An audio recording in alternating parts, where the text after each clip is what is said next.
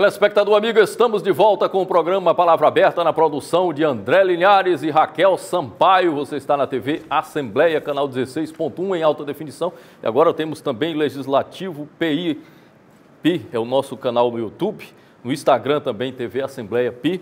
E é, o endereço eletrônico que todos já conhecem aqui, que eu já venho falando há uns quatro anos, é o tvassembleia.org. Por todos esses mecanismos, você pode nos acompanhar pelas redes sociais. Como eu anunciei no início do, do programa, nós vamos analisar agora o pacote, foi chamado pela imprensa nacional de pacote de medidas anticrime. Esse pacote foi apresentado pelo ministro Sérgio Moro, ministro da Segurança Pública e da Justiça, no último dia 6, e vem sendo analisado aí não só pelos estudiosos do direito, como por todos aqueles que fazem a segurança pública no âmbito federal e nos Estados-membros também, já que é uma competência concorrente. E para falar e analisar essa medida de pacote anticrimes, vamos receber aqui o advogado Michael Marques, especialista em direito penal e processo penal. Boa tarde, advogado. Boa tarde. Então, o que, podemos é, analisar do pacote enviado pelo ministro? Bem, é, trata-se de um pacote relativamente objetivo, né? É, são cerca de 34 páginas, que trazem 19 alterações a 14 trechos de leis criminais diferentes que foram compiladas a partir do ano de 1940 até 2018. E ele tem como justificativa a repressão a crimes violentos, de corrupção e organizações criminosas. Né? É, a, a, ele tem os prós Certo. Ele traz é, é, grandes vantagens ao sistema penal brasileiro, mas também existem é, certos pontos que devem ser é, deve se abrir um, um, alerta, como a questão da ampla defesa, da legítima defesa, no caso de, das ações dos, por parte dos policiais militares, a questão do chamado plea bargain, que vem do direito norte-americano, do, do, sistema da comunal, né, especificamente, que é o quê? É você, a, a pessoa fazer um acordo junto ao Ministério Público e com o surgimento desse acordo, o Ministério Público deixa de é, oferecer a denúncia, vamos supor assim.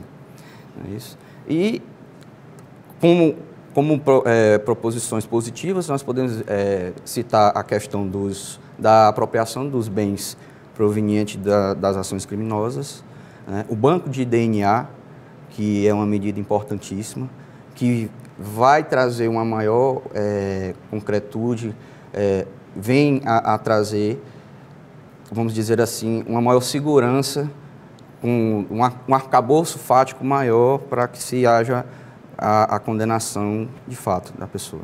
Como é que, duas questões. A, a excludente de ilicitude, tão falada pelo, pelo então candidato hoje presidente da República, Bolsonaro, é, para os policiais especificamente. Né? E também a questão dos presídios. Né? Como é que sim, tivemos sim. algumas mudanças ali no sistema prisional?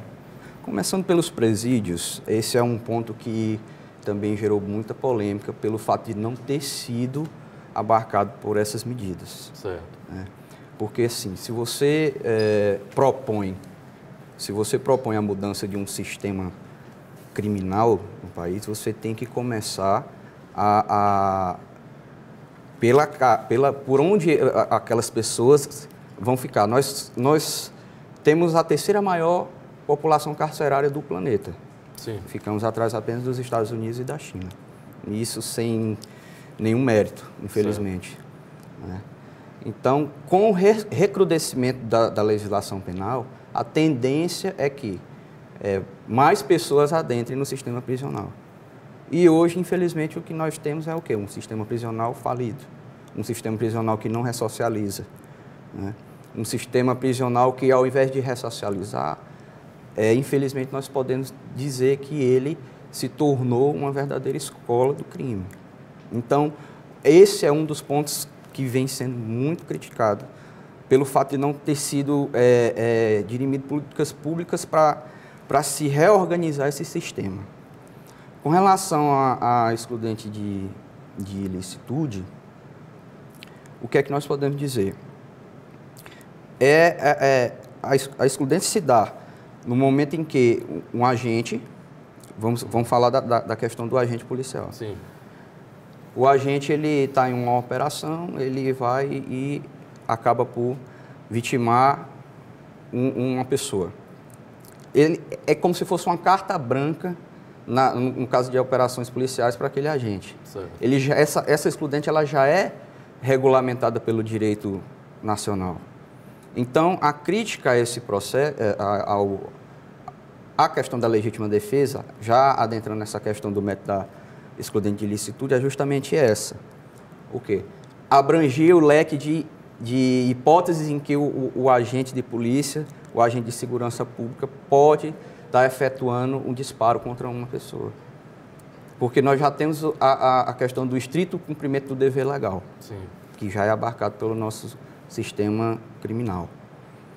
No, no pacote proposto pelo ministro Sérgio Moro, ele inclui o, ele inclui o medo e o, o estado emocional da pessoa.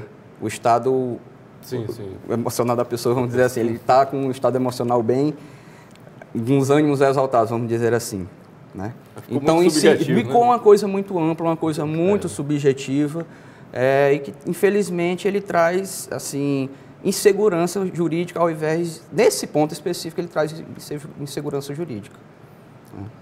Ao invés de trazer maior segurança, vamos dizer assim. A questão do, do, do plea bargain, né, que é a solução negociável, é outro ponto que merece ter destaque, que é a questão do, do da negociação do, da, da pessoa junto com o Ministério Público. Parece aos olhos, aos olhos da população, parece algo, nossa, vai, vai desafogar o judiciário, processos que, que, não, vão, que não eram para estar tá lá vão, vão ser resolvidos. Não, não é bem tão simples assim. Com a incidência desse instituto, nós estamos correndo o risco de, de vamos dizer assim, cortar direitos que foram conquistados ao longo de séculos. O direito ao devido processo legal praticamente não vai existir. Uhum. No momento em que você fecha um acordo com o Ministério Público nesse sentido, é, é como se a pessoa não tivesse a escolha. É como se a pessoa não tivesse o direito de defesa a partir daquele momento. Então, assim, a, a solução mais adotável nesse caso, ao meu ver, é, é, fazer uma mitigação, como há no sistema prisional italiano, no sistema criminal italiano, vamos supor, dizer assim. Eles têm esse, esse plea bargain, só que eles também eles, eles muniram de armas para, para que o acusado e o Ministério Público tenham, é, é, fiquem em pé de igualdade, no caso. Então, assim, ele pode até efetuar, ele pode até fazer a, a, a, a transação, Sim. o acordo junto ao Ministério Público, mas depois de esgotados e, e analisar todos os casos e dizer assim, não, olha, Aqui é realmente um caso, houve, houve realmente o crime. Né? Eu confesso tudo direitinho. Mas, é, depois de ter havido esse processo e, e terem sido garantidas todas as, as garantias para a pessoa. E que é que veio aprimorar a transação penal que já existia e a ação penal ex-delito, por exemplo? Esse novo sistema. A ação penal ex-delito? Sim. O que veio aprimorar? É, o que veio aprimorar. O, senhor falou esse mais novo aí, veio, veio do, do, direito americano. Sim. Ele deu uma aprimorada nessas duas?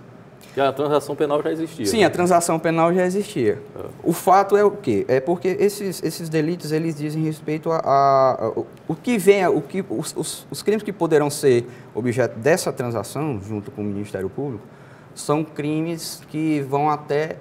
que tem a pena combinatória até os quatro anos de prisão. Certo. É. A, a, a transação penal de respeito a crimes até dois anos. Sim. Aí nós tivemos essa então, mudança. nós tivemos essa mudança. Até crimes até quatro anos e que não tenham sido cometidos com violência. Esse é um dos pré-requisitos. E a pessoa também não pode ser, não pode ter outros crimes, não pode ter ficha criminal, esse tipo de coisa. Mas a, a, a, o, o, principal agravante é isso. Ele tolhe do, da pessoa a dialética Sim. ele tolhe da pessoa a, a, a ele, ele simples, essa hipótese simplesmente ela joga para a pessoa ou você faz o acordo ou você vai para a prisão. E geralmente esse acordo, é, o, que, que consiste esse acordo? É a pena, é, a prestação pecuniária é, ou a prestação de serviço à comunidade, ou sendo ele cumulativo, os dois. Né? Então, assim, é, sem, isso tolhe o, devido processo legal, isso tolhe a ampla, ampla defesa. defesa então, temos que ter bastante cuidado com relação a isso. Né? Outro, outro,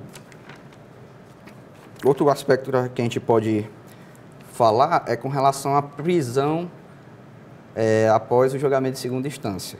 Né? Esse, desde 2016 o STF ele vem discutindo essa questão, já não é um, algo legislado.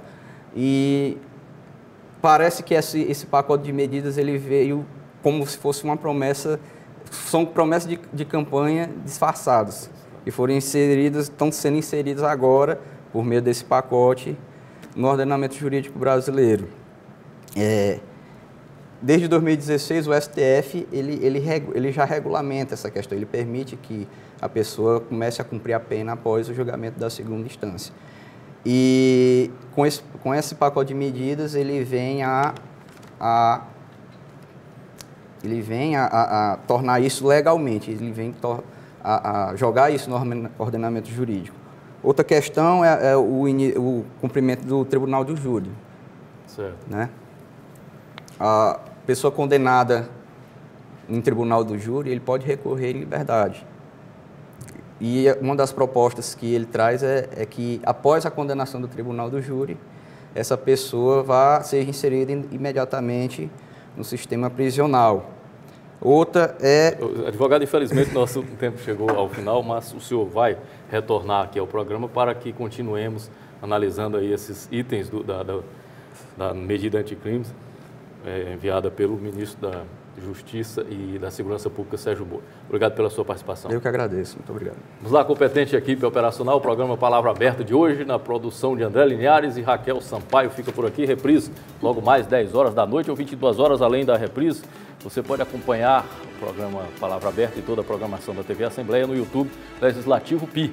Nas redes sociais, no Instagram, TV Assembleia Pi. No Facebook, TV Alep ponto oficial e na rede mundial de computadores tvassembleia.org. Então, abrangendo aí a TV Assembleia nas redes sociais e avançando cada vez mais nessa interação institucional com o telespectador, como deve ser esse canal da cidadania.